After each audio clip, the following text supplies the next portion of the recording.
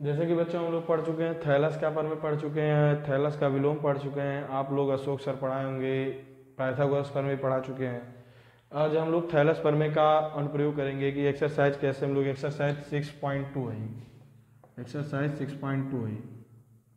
तो exercise six point two में question दिया हुआ है, हम लोग इसमें अनुप्रयोग करेंगे थैलस के परमे का। एक बात ध्यान दीजिएगा, थैलस के परमे को, यहाँ थैलस का परमे या आधार समानुपातिक परमे या basic proportionality theorem BPT basic proportionality theorem BPT इस तरह दिया हुआ, कथन वाला तो आप लोगों को बता चुके हैं। अब देखिए हम लोग इसमें इसमें थैलस के परमे का अनुप्रयोग करेंगे, किस तरह करेंगे? हम लोग थैलस के परमे में क्या पढ़े थे?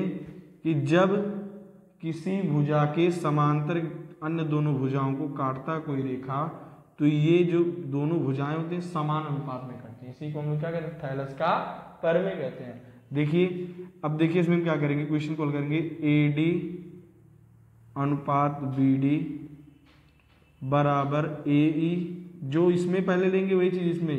ए डी पहले लिए हैं तो इधर ए ई पहले लेंगे। ए ई अपान ई सी अब देखो, हमको यहाँ यक्स का मान चाहिए। यक्स की जगह क्या है? तो और चलो देखा जाए ए डी की जगह क्या है? वन पॉइंट फाइव ये कहाँ से आया है?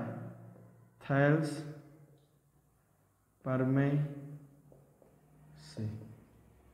देखो इधर ए डी का मान 1.5 दिया हुआ है, और इधर देखो बी डी का मान थ्री बराबर ए ई का मान वन और ई सी का मान क्या दिया हुआ है आपका? एक्स एक्स का मान चाहिए तो एक्स को एक तरफ़ कर लेते हैं और जिसका मान नहीं चाहिए उसको एक तरफ़ कर लेते हैं। पहले हम लोग सॉल्व कर लेते हैं इसको। इसका गुड़ा इसमें होगा, इसका गुड़ा इसमें। एक्स बराबर 1.5 एक्स का मान चाहिए एक तरफ़। ये इसके साथ गुड़े में है, इधर आएगा तो क्या हो जाएगा? डिवाइड में जाएगा। यहाँ से दशमलव को हम हटाएँगे, ऊपर ज़ीरो हो गया, पंद्रह करने में पंद्रह पंद्रह दूना तीस। एक्स बराबर दो सेंटीमीटर एक्स बराबर क्या आया? दो सेंटीमीटर इसी तरह हम लोग इसको सॉल्व कर ले रहे हैं। देखो, इसमें भी, इसमें क्या करेंगे? इसमें देखो A D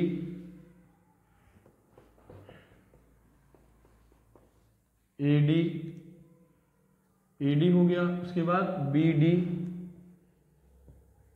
बराबर, इसमें पहले यही लिए ए डी इसके बाद ए ई बराबर ए ई अपान ई सी देखो ए डी क्या है? ए डी का मान क्या है? ए डी ए डी का मान आपका वाई है, और बी डी बी डी का मान seven point two A E का मान देखो ए ई कितना?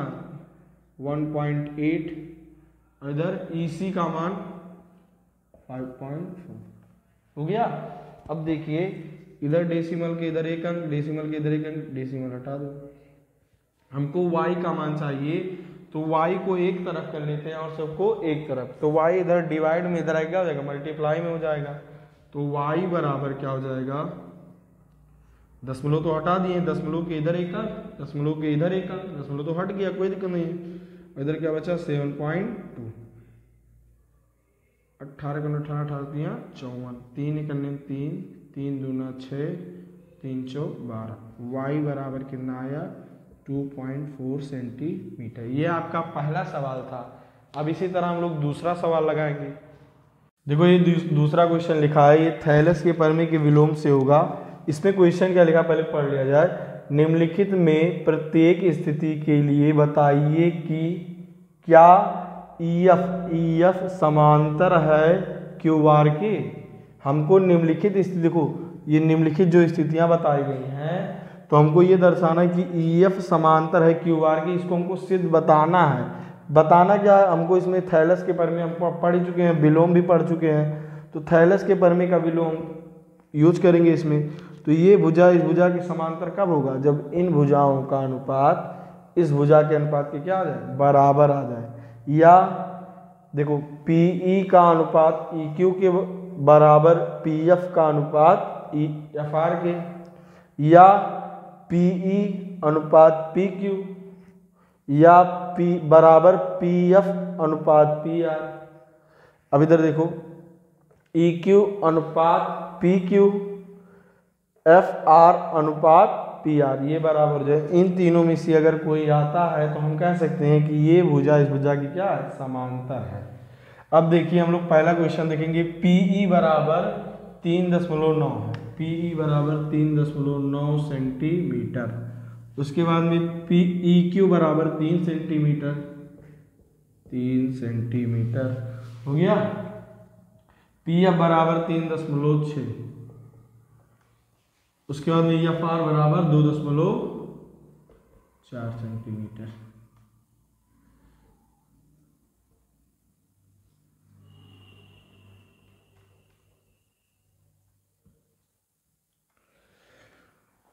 अब देखो लाओ देखा जाए कौन सा ये वाला है, ये पहले वाला ही है। तो पी ई ई क्यू बराबर P F F R P E का मान कितना है? तीन दशमलव नौ। ई क्यू का मान तीन पी एफ़ का मान तीन दशमलव छ और एफ़ आर का मान दो दशमलव चार। इसको हम सॉल्व कर लेते हैं। तो चलो सॉल्व करें। तो ये आया आपका ये आएगा।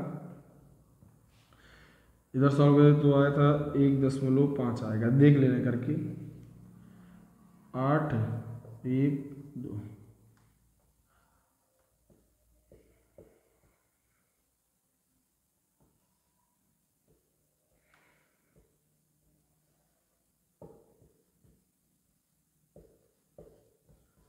देखिए, ये इसके बराबर आ रहा है इसका मतलब ये बराबर नहीं है।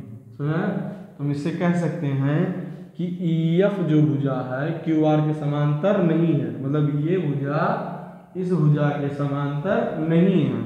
तो ई एफ़ समांतर नहीं है किसके? क्यू आर के।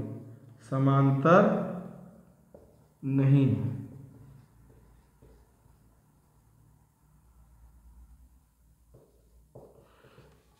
ये पहला आपका था, दूसरा कंडीशन अब देखेंगे हम लोग। दूसरा कंडीशन क्या है?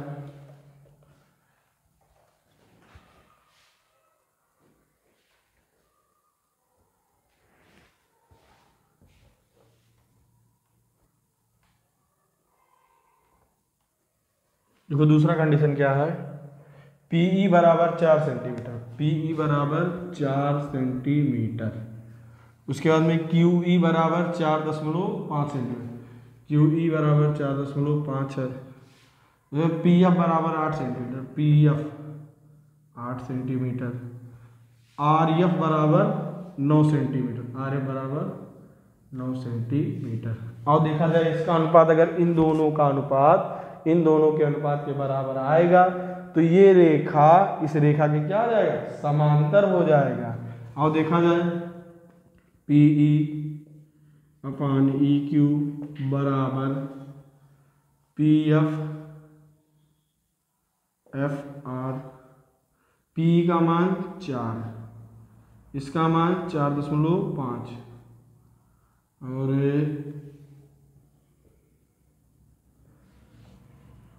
पी एफ़ का मान आठ एफ़ आर का मान नौ। हो गया? हो गया?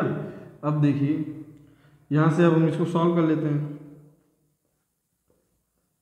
आठ, नौ।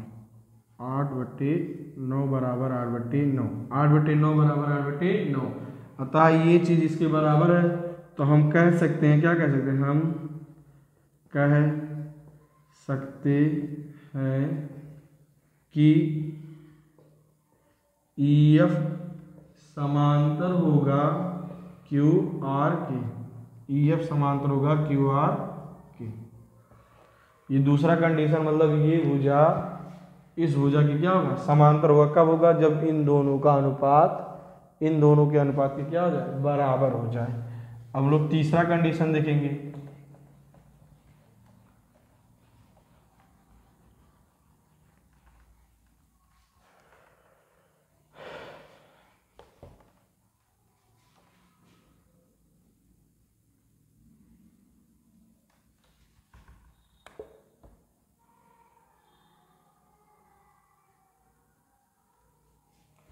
तीसरा कंडीशन क्या तीसरा क्या कंडीशन दिया? पी क्यू बराबर एक दशमलव दो आठ पी क्यू माने यहाँ से यहाँ तक। एक दशमलव दो आठ सेंटीमीटर उसके बाद में पी आर बराबर दो दशमलव पाँच छ पी आर यहाँ से यहाँ दो दशमलव पाँच छ सेंटीमीटर उसके बाद में पी ई बराबर पी ई पी ई बराबर कितना? ज़ीरो दशमलव एक आठ। यहाँ से यहाँ तक आपका ज़ीरो दशमलव एक आठ सेंटीमीटर। उसके बाद में क्या है? पी एफ़ बराबर ज़ीरो दशमलव पी एफ़ ये वाला। ज़ीरो दशमलव छ तीन सेंटीमीटर। इसलिए लाइनिंग बना दिए हैं। कि आप लोग कंफ्यूज ना होइए कि यहाँ से यहाँ है, कि यहाँ से यहाँ है। समझ आया? यहाँ से यहाँ तक इतना है, ये यहाँ से यहाँ तक वाला इतना है, ये वाला इधर है आपका, ये वाला इधर है। ये कौन सा कंडीशन आपको दिख रहा है? पी क्यू ये वाला कंडीशन आपका है। यही तो है? नहीं, ये कंडीशन नहीं, ये वाला कंडीशन है। P E upon P E upon P Q P E upon P Q बराबर P F upon P R और चलो रखा जाए मान। पी ई का मान ज़ीरो दशमलव एक आठ बटे पी क्यू का मान एक दशमलव दो आठ बराबर इधर ज़ीरो दशमलव छः तीन बटे दो दशमलव पाँच छः। देखो, दशमलव के ये चीज़ इसके बराबर नहीं आ रहा है। ये चीज़, ये अनुपात इसके बराबर नहीं आ रहा। आप काट कर देखेंगे, नहीं कटेगा। तो इसके बराबर नहीं आ रहा है तो हम कह सकते हैं, हम कह सकते हैं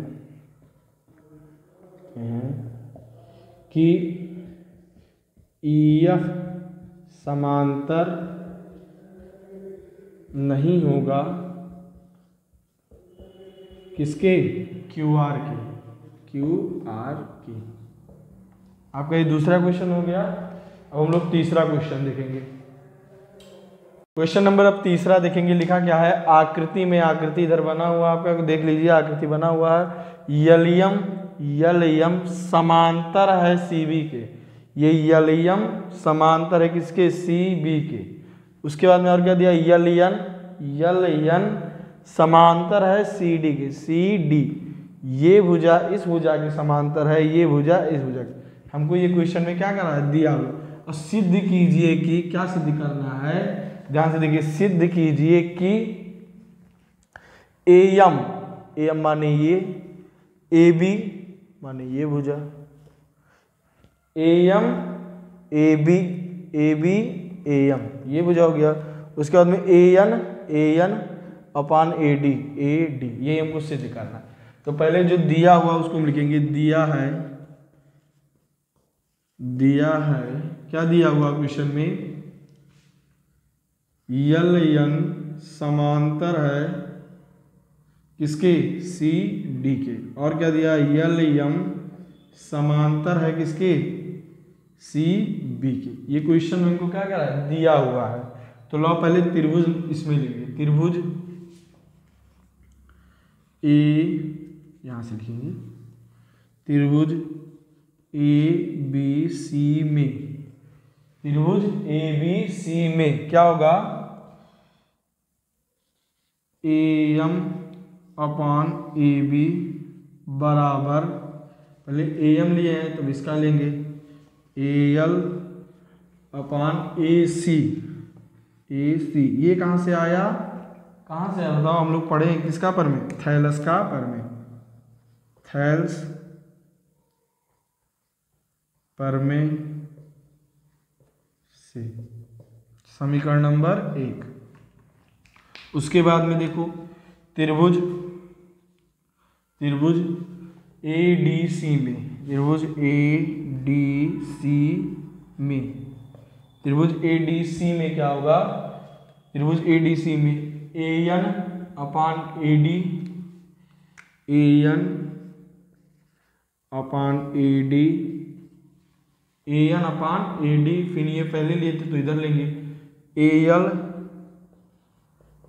अपान ए सी समीकरण नंबर दो। ए एल अपान ए सी फिर से देख लो एक बार। ये कहाँ से आया? इसको भी लिख लो थैल्स के परमे से। थैल्स परमे से। देखो ध्यान से।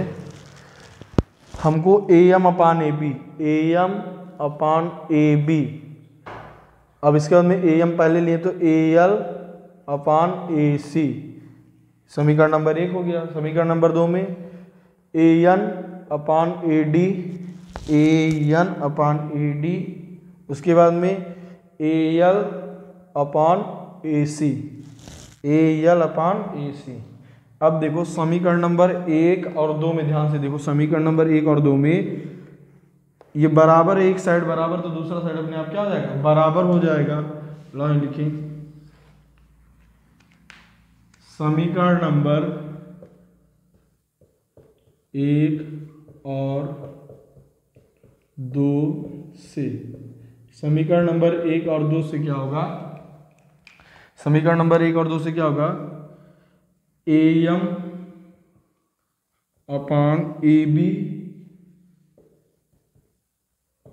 इसका ये साइड ले ले रहे हैं। ए एन अपान ए सी देखो इधर। ए सी ए एल नहीं, ये साइड नहीं ए डी यहाँ ए डी है, ध्यान से देखिए ए डी है। ए डी हमको लाना क्या था? A M upon A B A M upon A B बराबर A N upon A D हमको यही सिद्ध करना था, सिद्ध हो गया।